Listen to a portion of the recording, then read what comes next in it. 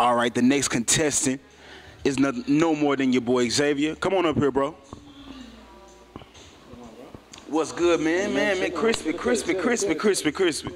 Already, man. Tell us a little bit about yourself, man. Well, shoot, I'm uh, my name is Xavier. I'm an Oak Cliff native, man. Oak Cliff. Yes, sir. Born and raised, man. And uh, do R&B and I do gospel as well. Okay. You know what I'm saying? So um, I've uh, got my own band. Okay. Uh, I'm singing around Dallas a lot. You know what I'm saying? Here, here, here lately. So shoot, that's really about it. Got you. What you gonna be singing for us today? Oh, I'm gonna hit. I'm gonna hit you with a little Ush. Okay. Yeah, nice and slow. Already, got you, got you. Well, we definitely gonna be looking forward to seeing that. Stay tuned.